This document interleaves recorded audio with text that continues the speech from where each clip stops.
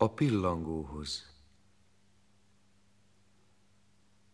Hamar követje a tavasznak, hímes pillangó, idvez légy. Még nincs rózsa, s te a kopasznak mégis csókolására mégy. Miért szállsz a mapuszpángokra?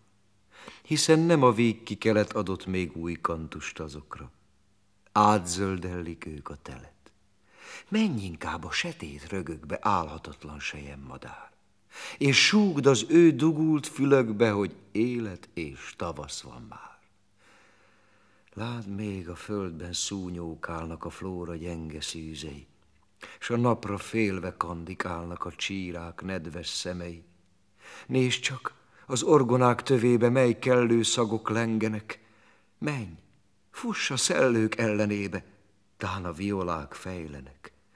Eredj egy hosszú csókkal, szít ki zefír elől illatjait, és szárnyat zörgésével híd ki a napra kisdet húgait.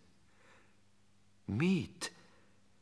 Violákról violákra osztott te csélcsap csókodat?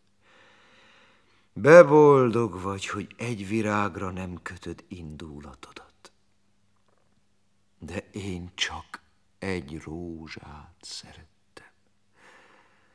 Oh, csak egy bírt a szívemet, s mióta már ezt elvesztettem, örök tél dúlja létemet.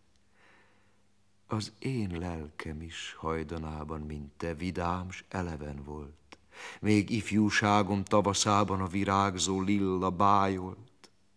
De most lomha, hernyó módjára mászkál a fanyar bánaton, és a mások múlatságára magának vers koporsót font. Ah, szárnyad eszembe juttatja pszíhét az ő bánatjait, és a pszíhe gyötrő bánatja tulajdon lelkem kínjait. Ő is Ámor aranyvárában egykor édes nektárral élt, és a gráciák rózsássában kedvet, s örök tavaszt remélt, de egy bűbájos hang neszére e víg szcénák eltűntenek, s az ő halálos gyötrésére ég, föld, mind felesküdtenek. Ó, mikor lesz, hogy bús kínjában letöltöm hernyó éltemet? És szemfedelem púpájában kialszom szenvedésemet.